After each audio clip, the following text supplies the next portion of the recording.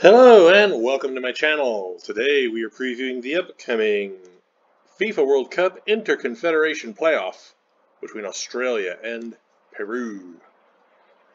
If you are not already subscribed to my channel, please take a moment to do that right now. I would greatly appreciate it.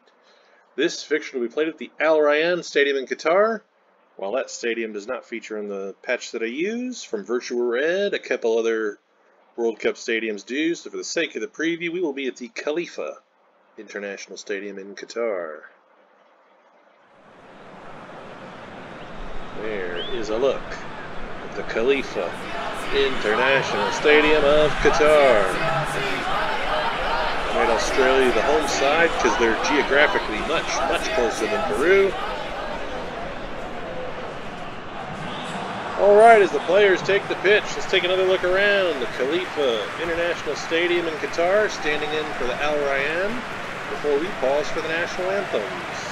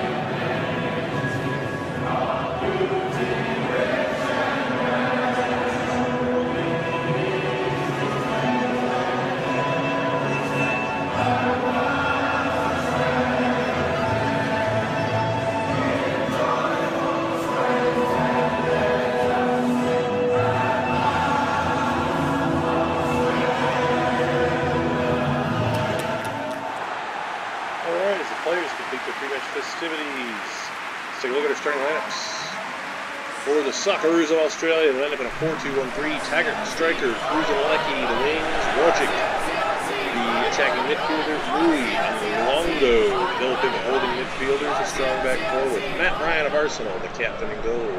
For Peru, it's a 4-2-3-1 formation. Gianluca Lapadula, uh, Benevento is the lone striker. Pena, the attacking midfielder. Carrillo. And Christian Cueva, the outside midfielder. Gallese in goal. The World Cup ball isn't there yet. This is the closest one I can find to it. Same color scheme from Adidas, so should make for another pretty good stand-in. We got a stand-in for the ball and for the stadium.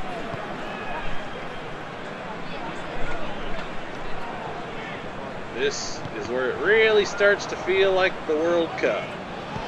Everything on the line for two of these four sides. The other match, of course, being New Zealand and Costa Rica. Which, if you haven't watched already, my goodness, off the post, check it out right after this one. For two of these sides to get this close and miss is going to be heartbreaking.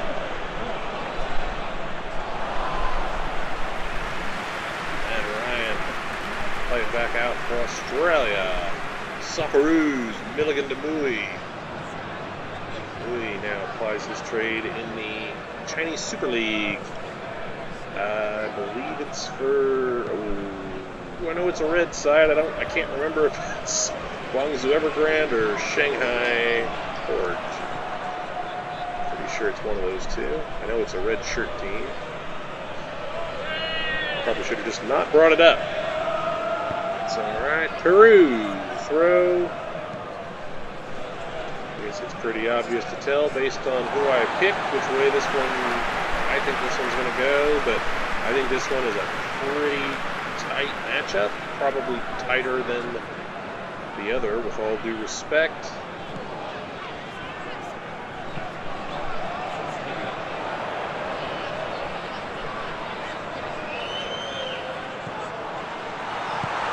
Ooh. Good defending. Loose ball. Peru have it. Out of danger. Australia win it back in the midfield.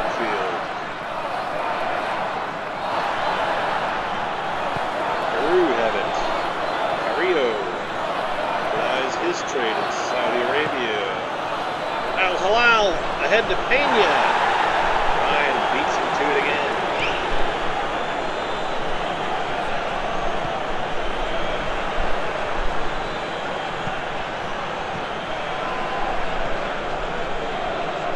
Got a couple of pairs of very steady goalkeeper hands in this one. Ryan and Gallese, and Gallese's beat. 1-0 to Australia in the 41st. Rogic with the goal.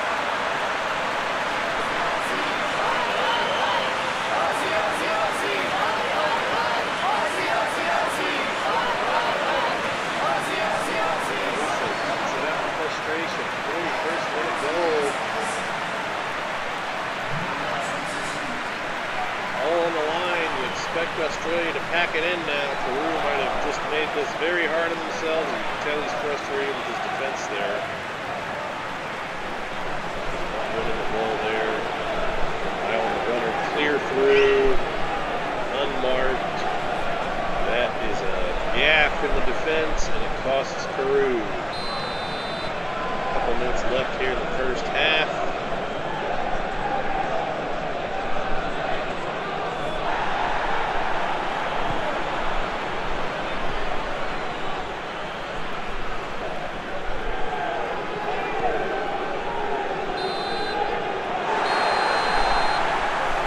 And that is the end of the first half. Australia. Rogic with the 41st minute goal. Took a one 0 lead in the break. Let's take a look at our halftime stats, and it's been all Australia. 72% possession, three shots to none, nearly 70% of the passing. Australia firmly in control in that first half. They got the goal to show for it. Peru on their heels, looking for an equalizer here in the second. Unforced error. Australia have it back, and they've been so difficult to dispossess for Peru.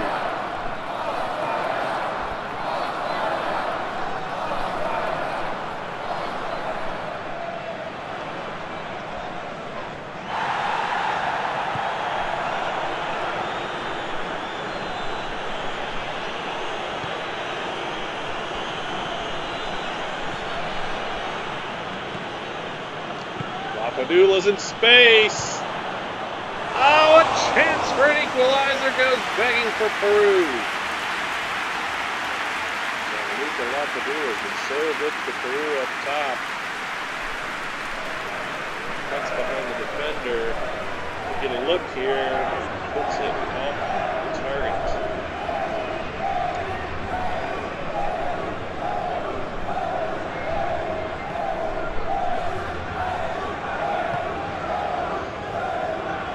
Longo.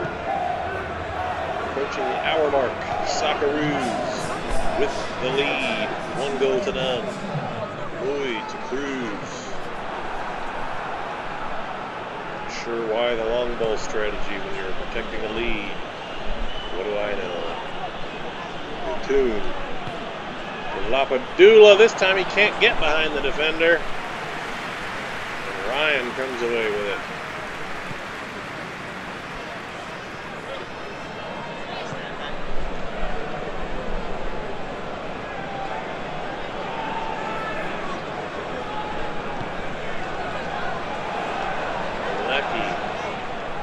Down the flank in space. Comes across.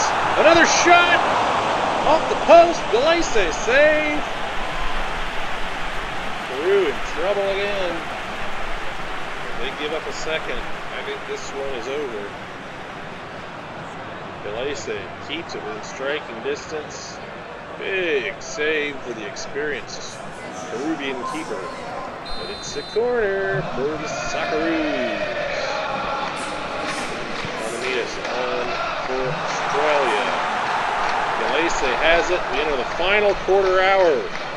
Peru need an equalizer to send this thing to extra time. Otherwise, their World Cup bid is done. There's the ball in. Lapadula can't get there. 80th minute. Peru not able to put it together, and they are really, really running out of time.